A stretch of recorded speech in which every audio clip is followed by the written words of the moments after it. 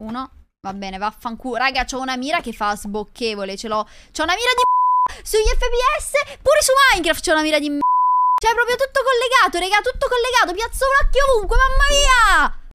Ho fatto un casino. In un punto un pochettino più centrale. Io la volevo mettere lì, non qua. Perché c'ho una mira di sto gioco, raga, che non ha bisogno di mira? Cioè, ma veramente? Ma che problemi ho?